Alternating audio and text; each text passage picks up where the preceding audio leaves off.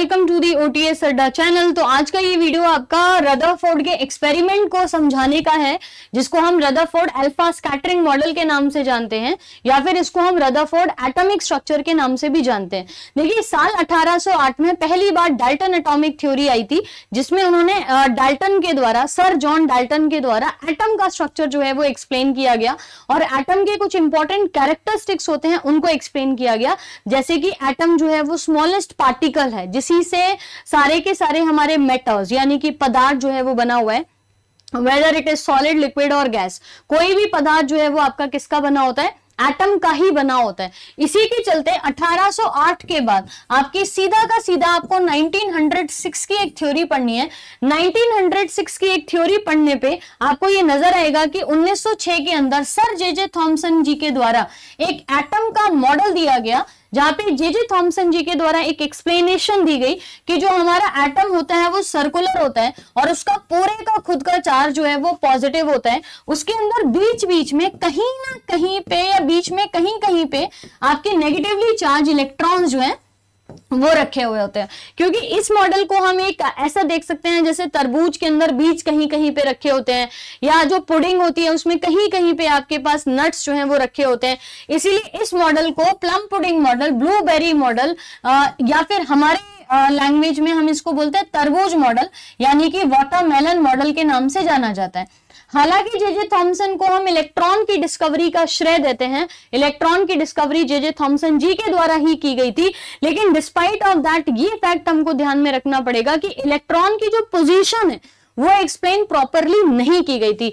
जिसको लेके 1911 के अंदर 1911 के अंदर रदरफोर्ड जी के द्वारा एक मॉडल एक्सपेरिमेंट जो है एक्सपेरिमेंट किया जाता है, जिसको गीगर मासडन के नाम से भी जानते हैं एल्फा स्कैटरिंग मॉडल के नाम से भी जानते हैं, क्योंकि एल्फा रेज जो है वो इस्तेमाल की गई थी। उसके अलावा यहाँ पे हम इस मॉडल को रदरफोर्ड एटॉमिक मॉडल के नाम से भी जानते हैं यहाँ पे। तो आपकी जो रेज है ना, उनको बम्बार्ड किया गया था और इसी मॉडल को मॉडल को अल्फ़ा स्कैटरिंग रेज के नाम से यहाँ पे जाना जाता है। ठीक है? जरा मॉडल को और एक्सपेरिमेंट को एनिमेशन के साथ समझने की कोशिश करते हैं। प्रॉब्लम ये था या एग्जैक्टली exactly हमको चाहिए ये था कि हम इलेक्ट्रॉन की जो पोजीशन है ना, उसको एक्सप्लेन कर पाए कि एटम के अंदर इलेक्ट्रॉन्स जो है वो कहाँ पे रहते हैं। एग्जैक्टली exactly इलेक्ट्रॉन की पोजीशन के। उसी के चलते एक पूरा एपरेटस या मशीन जो है वो बनाई गई, जहाँ पे एक लेड बॉक्स को इस्तेमाल किया गया। ये लेड का बॉक्स है, जिसके अंदर आपकी अल्फ़ा रेज जो है उनको रखा गया और उनको बम्बार्ड कराया गया। बम्बार्ड किस चीज़ पे कराया गया? बम्बार्ड एक गोल्ड फॉइल शीट के ऊपर कराया जाता है। गोल्ड फॉइल शीट इसलिए क्योंकि गोल्ड जो है वो मेलिएबल होता है मेटल है तो गोल्ड जो है आप उसको शीट्स में कन्वर्ट कर पाओगे पतली पतली उसकी चादर बना पाओगे, इतनी पतली कि वो 200 हंड्रेड की हो जाए। तो जब एल्फा रेस को यहाँ से बम्बार्ड किया गया गोल्ड शीट के ऊपर। तो हमने साथ में एक ना कवरिंग भी रखी रदरफोर्ड के स्ट्रक्चर में जिसको जिंक सल्फाइड की फ्लोरोसेंट कवरिंग कहा जाता है ताकि जब गोल्ड के साथ ये रेस टकराएँगी और टकराने के बाद जब बैंड होंगी या फिर पीछे स्क्रीन पे जाएँगी तो हमारे पास एक पिक्चर क्लियरली आनी चाहिए कि जो अल्फ़ा रेस टकराई हैं वो एग्जैक्टली exactly कहाँ पे पहुँची हैं या कहाँ पे ना वो आपकी गई हैं। यहाँ पे एक बहुत ही आ, कहते हैं ना कि हर एक्सपेरिमेंट में, इस एक्सपेरिमेंट में रदरफोर्ड जी ये कोशिश कर रहे थे कि इलेक्ट्रॉन की ना सही पोजीशन जो है वो नज़र आ जाए। मेन मकसद भी यही था। लेकिन क्या होता है कि इसी एक्सपेरिमेंट में रदरफोर्ड जी को बहुत ही एक यूनिक सी चीज़ नज़र आती है कि वो ये कहते हैं कि सारी ही सारी या मैक्सिमम रेज जो है वो सीधी जा रही है। अल्फ़ा रेज आपकी पॉजिटिवली चार्ज होती है इलेक्ट्रॉन जो है वो नेगेटिवली चार्ज होता है। तो अगर किसी पॉजिटिव चार्ज के आ, किसी पॉजिटिवली चार्ज रेज किसी नेगेटिवली चार्ज पार्टिकल से गुजरेंगी तो वो उसको क्रॉस करेंगी क्योंकि पॉजिटिव और नेगेटिव एक दूसरे को अट्रैक्ट करता है और सारी रेस जो है वो सीधी चली जाएँगी। लेकिन क्या ये रिज़ल्ट ऐसा ही था? हर एक केस में नहीं। चौंकाने वाले रिज़ल्ट तब आए जब कुछ रेस जो है वो क्या कर रही है? बैंड हो रही है एक्यूट या फिर ऑप्ट्यूस एंगल से, ठीक है? कुछ रेज एक्यूट एंगल से बेंड हो रही थी एक्यूट एंगल से लेस देन 90 कुछ जो है वो ऑप्ट्यूस एंगल यानी कि मोर देन 90 वहाँ पे चीज़ थोड़ी सी गड़बड़ करा गई। रिज़ल्ट के मामले पे ये कुछ ऐसे रिज़ल्ट किया कि जो रेज केंद्र से या केंद्र के आसपास से नहीं गुजर रही है, वो सीधी जा रही है। यानी कि नेगेटिव चार्ज जो है वो आपका आसपास है। लेकिन जो रेज एकदम सेंटर या उसके आसपास जाके टकरा रही है, वो आपकी ऑप्टिव एंगल या फिर एक्यूट एंगल जो है वो बना रही है, यानी कि इस तरीके से एंगल बना रही है।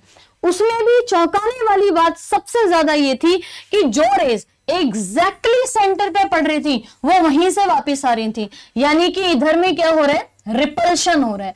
रिपल्शन का मतलब क्या हुआ? विकर्षण हो रहा है। तो सेंटर में ऐसा कुछ तो रखा हुआ है, जिसकी वजह से पॉजिटिवली चार्ज रेज जो है, वो वापस आ रही है। नेगेटिव होता तो ये सीधी चली जाती, यानी कि ये पॉजिटिव से ही जाके टकरा रही है। इस पूरे रदरफोर्ड एटॉमिक मॉडल से रदरफोर्ड के द्वारा ये कंक्लूजन किया जाता है कि केंद्र में ना नेगेटिव चार्ज या इलेक्ट्रॉन्स नहीं रखे हुए हैं। आपके पास एटम का मॉलिक्यूल जो है, वो एटम का जो स्ट्रक्चर है, वो कुछ इस तरीके से है कि आपके पास सेंटर में पॉजिटिव चार्ज है, जिसको बाद में रदरफोर्ड जी के द्वारा न्यूक्लियस कहा गया या फिर हम इसको नाभिक के नाम से जानते हैं न्यूक्लियस के नाम पे। इसी चीज़ को लेके रदरफोर्ड ने अपनी एक्सपेरिमेंट आगे परफॉर्म किए, आगे बढ़ाए और न्यूक्लियस की डिस्कवरी की। इसीलिए आज रदरफोर्ड को हम फादर ऑफ़ न्यूक्लियर केमिस्ट्री के नाम से जानते हैं। और उन्होंने ये बोल दिया कि बीच में पॉजिटिवली चार्ज न्यूक्लियस रखा हुआ है और इलेक्ट्रॉन जो है वो उसी पॉजिटिवली चार्ज न्यूक्लियस के आसपास जो है वो घूमते हैं। हालाँकि उन्होंने अपनी एक्सपेरिमेंट को यहीं पे छोड़ दिया। कंक्लूजन ये बता के कि बीच में आपके पास पॉजिटिवली चार्ज एक न्यूक्लियस रखा हुआ है।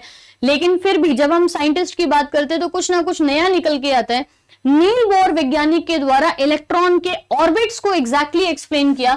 तो इलेक्ट्रॉन की डिस्कवरी जे जे थॉमसन जी के द्वारा की गई थी। न्यूक्लियर की डिस्कवरी न्यूक्लियस की डिस्कवरी रदरफोर्ड जी के द्वारा की गई थी। और इलेक्ट्रॉन ऑर्बिट्स में किस तरीके से घूमते हैं? या बोर के द्वारा इसी एक्सपेरिमेंट को फर्दर प्रूफ किया गया कंडक्ट कराया गया और बताया गया कि सेंटर में आपके पास जो पॉजिटिवली चार्ज न्यूक्लियस है, उसके आसपास आपके कुछ ऑर्बिट्स जो है घूमते हैं, जिसको उन्होंने के एल एम एल ये वाला हो गया एम शेल एन शेल का नाम दिया गया। तो ये आपके पास ऑर्बिट्स होते हैं के एल एम एन शेल जहाँ पे एग्जैक्टली इलेक्ट्रॉन्स की मूवमेंट हो रही है। तो इलेक्ट्रॉन की डिस्कवरी एटम थ्योरी से शुरू होती है रदरफोर्ड थ्योरी जाती है, और बाद में नील बोर के द्वारा इस ऑर्बिटल थ्योरी को एक्सप्लेन किया जाता है। सो आई होप आपको ये चीज़ें क्लियर होंगी। रदरफोर्ड एटॉमिक मॉडल अभी जो है वो क्लियर होगा। Thank you so much